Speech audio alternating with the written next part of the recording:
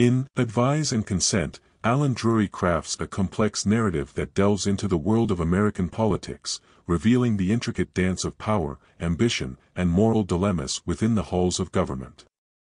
The novel, a political drama set against the backdrop of a Senate confirmation hearing, examines the personal and political struggles that define the lives of its characters, particularly focusing on the appointment of a controversial Secretary of State nominee.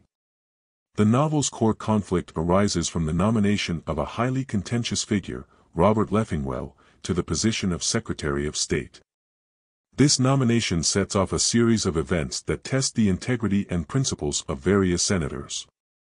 Drury's portrayal of these characters is nuanced, illustrating their personal motivations and the political pressures they face.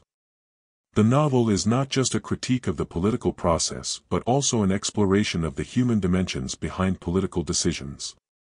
Drury's depiction of the Senate is both detailed and evocative, capturing the labyrinthine nature of political maneuvering in the frequent collision between public duty and private interest.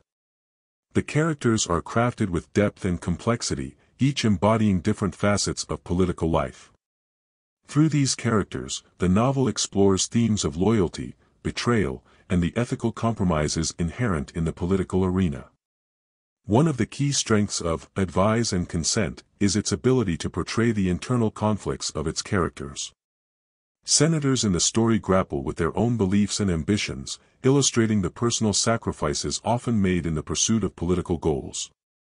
The novel vividly depicts the strain between maintaining personal integrity and succumbing to the pressures of political expediency. The narrative structure is meticulously crafted, employing a blend of dialogue, personal reflection, and political strategy to build suspense and develop the storyline.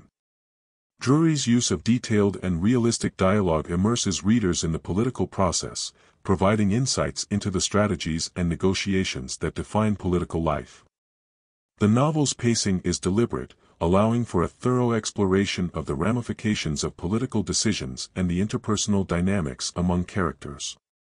The theme of political corruption is central to the novel, highlighted through the various schemes and backdoor deals that emerge as the confirmation process unfolds. Drury does not shy away from depicting the darker aspects of politics, including the manipulative tactics employed by individuals seeking to advance their own agendas. This portrayal serves as a commentary on the potential for moral compromise in the pursuit of power. Another significant aspect of the novel is its examination of public perception versus political reality. Drury explores how public opinion and media influence can impact political decisions, often complicating the process of governance. The characters' interactions with the press and their efforts to manage public perception add another layer of complexity to the narrative, reflecting the multifaceted nature of political leadership.